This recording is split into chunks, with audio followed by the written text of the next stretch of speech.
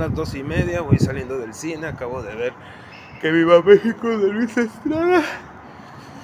Veredicto, decepcionante. ¿Qué tal amigos? Yo soy Humberto Reyes alias El Maldad antes de que se encabronen amigos, si ustedes son fans del director Luis Estrada, déjenme decirles que yo también. Aquí tengo las tres películas, las tres primeras películas de Luis Estrada. Amigos, sí, estuve esperando por mucho tiempo esta película eh, que se llama Que viva México de Luis Estrada. Y a ver, vamos a analizar un poquito el contexto de por qué digo que es una decepción. Luis Estrada dijo que tuvo completa libertad creativa para realizar esta cinta. Que no podía decir nada malo de Netflix, porque Netflix fue, fueron los que financiaron esta película. Que pretendía si mal no recuerdo, creo que en noviembre. Es que el primer tráiler lo lanzaron en septiembre del año pasado, del 2022. Semanas antes del estreno, se echó para atrás Netflix. Dijeron, ¿sabes qué? Siempre no te vamos a distribuir la película. ¿Qué pasó ahí? Hubo censura gubernamental porque criticaron o metieron algunos chistes sobre Andrés Manuel López Obrador. Eso es lo que muchos sospechamos, ¿no? De que hubo censura en la cuarta transformación, cuando AMLO dice prohibido prohibir. Afortunadamente, pues encontraron un distribuidor, que fue Sony, quien la llevó a las salas de cine. Entonces ya estaba la película lista y así la presentaron. La película Que Viva México de Luis Estrada yo creo que generó bastante expectativa entre aquellos que somos seguidores de, pues, de su cine, de sus películas. La película falla en algunas cosas y no, no es por los pequeños tintes de crítica al gobierno de Andrés Manuel López Obrador y la cuarta transformación, no. Yo creo que los problemas monumentales se dan pues a raíz del guion parece que el guion es el primer borrador. No sé qué tanto habrá trabajado Luis Estrada el guion de la película. Está lentísima, es sumamente tediosa. Para arrancar tarda creo que casi 50 minutos. Tardan mucho en presentar los personajes, uno por uno. Falta agilidad, no sé si tenga que ver con la edad de Luis Estrada o que quería hacerlo como contemplativo, qué onda. De nueva cuenta, pues tenemos ese aire retro que le gusta plasmar a Luis Estrada como de autoridades de los 70s o 60s o incluso de los 50s, ¿no? Más o menos esa estética. Y aquí en la película que viva México nos entregaron algo completamente distinto, ¿no? Que tal vez muchos nos imaginábamos. Ay, no sé por dónde empezar, compas. Empieza por el principio, malad. Ok, les voy a dar una breve sinopsis. No me aprendí los nombres de los personajes. Creo que nomás se llama la familia Reyes, pero bueno. Ok. La película se trata de Poncho Herrera, que Poncho Herrera está trabajando en una empresa y por eso, como le está yendo bastante bien, le dicen que es un vato bien fifí. Se supone que Ana Larraguera era la esposa de Poncho Herrera y es una ruca que gasta todo en lo que puede, una consumista más o menos fifí, super fresa, que dice, ay, no, sí, del uno, no sé qué, acá literal, etcétera, etcétera, ¿no? Los niños también están yendo a escuelas privadas o algo por el estilo, quieren pues, llevarlos a otra escuela y total de que todo el conflicto pasa cuando este vato se entera que tiene, pues, no se entera, sino que tiene parientes pobres en un pueblo y, y tratan de contactarlo porque se murió el abuelo, porque el abuelo dejó una herencia y no pueden leer testamento sin que esté presente Poncho Herrera.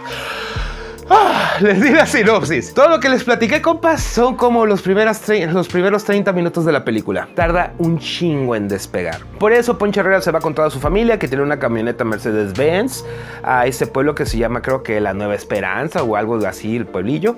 Y pues Damián Alcázar, bueno, pues es que todos actúan bastante bien. El problema, yo insisto, no sé si fue el problema la edición o el propio guion de las cosas que pasaban. Poncho Herrera tenía pesadillas con sus parientes pobres, como que no quería regresar a la pobreza porque le estaba yendo bastante bien. Pero ¿de qué forma le estaba yendo bien? Porque es proletariado el vato, pues trabajando y chingándole. Entonces eh, estaba esperando ascender. Ahí tenemos a AMLO criticando a los, a los aspiracionistas, ¿no? De que pues todos queremos progresar, ¿no? Todos queremos tener un mejor empleo, ir pues ascendiendo, ¿no? Conforme pues lo que estemos realizando en nuestra vida profesional. Curiosamente, algo que dijo Luis Estrada es que esta película trataba de plasmar o retratar a todos los mexicanos, ¿no? Es decir, una función de los típicos mexicanos, ¿no? Digamos, los que le quieren chingar duro a la chamba para darle lo mejor a su familia, que creo que eso somos todos, ¿no? Pero en este caso, pues alguien como de clase media o media alta, los pobres que, pues como son pueblo bueno, no después decir nada, pero resulta que siempre andan viendo buscando ventajas o pedir dinero prestado, nunca pagar o algo así, por eso hay tanto pinche cabrón que se endeuda en Coppel. Y pues pues también los padrecitos que resultan ser muy cabrones, eh, las autoridades cabronas y corruptas, también Alcázar ahí se la rifa el actor porque hace tres papeles, compa, se supone, eh, yo creo que ahí fue un tributo que hizo Luis Estrada a los tres huastecos, debido a que Damián Alcázar interpreta pues el papá de Poncho Herrera, que es un vato sumamente pobre y jodido, también interpreta a un padrecito, que es hermano pues del papá de Poncho Herrera, y otro hermano que es político que estaba en el PRI, se fue al PAN y terminó en Morena.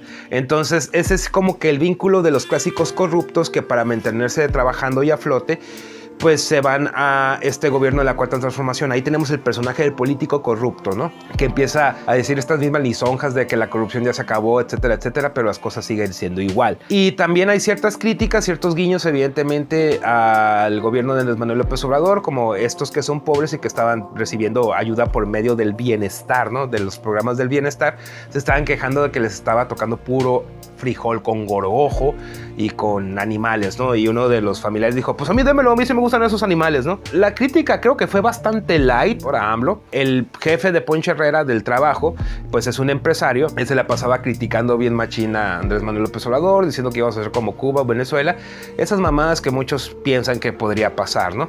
Entonces yo pienso que sí están varios personajes típicos o estereotipos del mexicano ahí presentes en la película. Pero bueno, ¿por qué les digo que la película falla? Pues por lo mismo que les digo que está muy repetitiva, está muy lenta, utilizan un recurso de que toquen mariachis como cuatro o cinco veces, tocando de la nada. Parece que hasta hay un guiño a Pedro Infante porque pues uno de los hermanos de Poncho Herrera resulta que pues canta y se casó con una niña de 14 años. Hasta uno de los hermanos de Poncho Herrera resulta que es trans. La película pues podría ser considerada como comedia disparatada, pero a mí no me convenció, compas. Me decepcionó completamente porque si algo que teníamos con Luis Estrada es que tenía una historia coherente que se iba desarrollando poco a poco. No sé si les digo de nueva cuenta si el problema fue el editor que no supo qué pedazos cortar porque, güey, no había agilidad conforme te estaban presentando la cinta, las situaciones. Te quedas pensando, güey, ya fue mucho de fiesta, ¿no? O sea, ¿por qué no cortaste esto de la fiesta? O sea, como que ya se está repitiendo mucho que este güey esté escarbando, ¿no? Y miren, yo le aguanté nada más por respeto a Luis Estrada, el director, pero sí me decepcionó bastante. Utilizaron mucho un recurso donde que Poncho Herrera tenía pesadillas, ¿no? Entonces te planteaba toda la situación, ya despertaba de que pues eran unas pesadillas y dices, bueno, pues entonces qué real y qué no es real, ¿no? Eso me llegó a cansar, así como que, güey, ya usaste este recurso varias veces. Sí me decepcionó bastante y es una lástima porque pues yo me considero fan de Luis Estrada y lástima que con esta película, Mel, estaba esperando que ya se acabara, la neta. Decepcionante. Ahora, no te pone que eh, los pobres son buenos, el pueblo bueno, pobre no es bueno, sino que es cabrón. Y alguien de la sala me dijo, es la película más triste de Luis Estrada.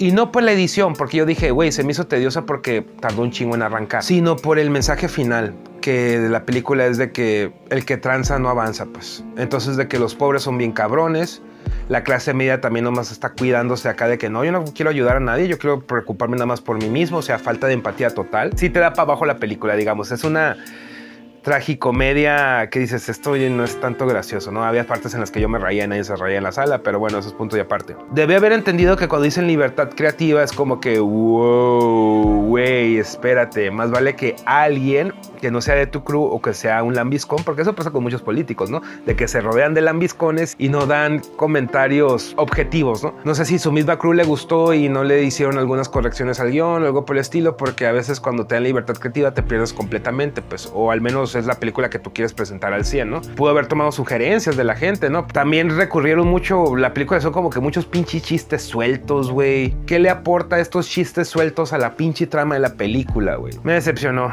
y estoy aguitado, güey. Estoy aguitado por eso. Estoy esperando tanto tiempo esta pinche película para que resultara una decepción, güey. Miren, me extraña Luis Estrada. Es decir, esa película dura tres horas. Fácil, amigos, fácil, pudo haber durado 2 horas 15. Porque déjeme decirles, la película del infierno tiene varias escenas eliminadas y son como unas 12 o 14 escenas eliminadas que yo digo, qué bueno que la quitaron porque no le aportaban nada a la película, excepto una. Es una escena, una secuencia completa que se revela quién Benny, que fue uno de los panchos. Yo dije, ¿por qué la sacaron, güey? Eso explica un putero de cosas en la del infierno. Pero bueno, amigos, eso fue todo. Yo me sentí relacionado evidentemente con el personaje de Poncho Herrera porque recuerdo que mi papá me regalaba muchos, mi papá, mi papá me regalaba muchos juguetes de niño. Eh, porque le iba bien a mi jefe, ¿no? Yo tendría unos dos años, tres años y me regalaba muchos juguetes. Entonces en el barrio había un niño pobre, no voy a decir de qué estado era, porque le van a decir, ay, pinche maldad. Pero digamos, era chaparrito y morenito. Entonces resulta que yo no me acordaba, sino es que me dice mi papá y creo que incluso unas primas mayores que yo, que me llevan como 10 años, de que el morrillo me robaba mis juguetes. Y yo le decía a mi jefe de que, oiga, es que mi amigo Iván, porque ya ni le he visto al cabrón, Iván Solano se llamaba el cabrón. Eh, Iván Solano me roba mis juguetes. Dijo, entonces nuestro amigo, no, si es mi amigo, si es mi amigo. Pues si te está robando los juguetes, güey. Y el morrillo era cabrón, ¿eh? Porque como yo era hijo único y quería jugar, sí, mi mamá me regaló el Nintendo y el morrillo venía y yo me ponía a jugar y dijo, ah, quiero jugar. No, ah, entonces me voy. No, no, no, quédate, juega conmigo, que no sé qué. Entonces, o sea, sabía cómo aplicarle el cabrón, era cabrón. Entonces, como hagan de cuenta los parientes pobres estos que buscaban cómo sacarle la feria porque pensaban que el Poncho Herrera era, rico, ¿no? Entonces me sentí relacionado con eso, güey, pues uno no es rico nomás de que porque tienes algo chilo que no tiene alguien y por eso quieres sacar ventaja de él, se va a hacer un culero, güey. También recuerdo otra pinche anécdota cuando fuimos a Disneylandia de la primaria. Todos teorizamos después en una reunión, güey de que no sabíamos si ese vato era hijo de un diputado o de un narco, porque llevaba un chingo de dinero. Atragado que hasta llevaba escolta. Así como lo escuchan, llevaba dos guaruras el vato, que se fueron atrás del autobús, ¿no? Ah, no es cierto, él ni siquiera se fue en el autobús con nosotros, se fue en el pickup con los dos guaruras, ni siquiera conviviendo con nosotros. Y ya entraron al parque y todo el pedo, y había mucho cabrón que le estaba pidiendo al vato, oye Nacho, ¿me compras esto? ¿Me compras esto? Y el vato, ah, Simón, Simón, acá, y yo, güey se me hizo bien culero eso que yo no le pedí nada, güey. ¿Por qué voy a sacar ventaja? Pues obviamente llevaba un pichi fajote de feria, ¿no? A duras penas mi jefa me pudo dar este 100 dólares y yo supe cómo gastarlos, ¿no? Va a decir, ay, maldad, no, pues, güey, no todos los días vas a pinche Disneylandia, ¿no? Y compré puras pendejas, ¿verdad? Pero, ¿verdad? Las pendejas que yo quería, la verga. Y obviamente, pues comí también bien rico, porque era los 100 dólares para todo, para la comida y comprar algún recuerdillo o algo así, ¿no? Eso fue todo, amigos. Yo soy Humberto Reyes, es el Maldad. Si te gustó el video, dale me gusta, compártelo con tus contactos. Si no estás suscrito, suscríbete. Suscríbete, ocupo ese placazo de los 100 suscriptores. Digo, de los 100 mil suscriptores. Puedes seguirme en las redes sociales en las cuales tengo cuenta, van a estar apareciendo en la descripción del video. Y puedes apoyarme de forma monetaria si gustas hacerlo por medio de Patreon. Y bueno, amigos, estamos al pendiente, nos estamos viendo. Y muchísimas gracias a todos los Patrons que ahí junto con su servilleta al pie del cañón. Y a pesar de que esta película fue una decepción, fue mala, creo que es la única película mala que tiene Luis Estrada, déjenme decirles de todos modos que viva México, cabrones.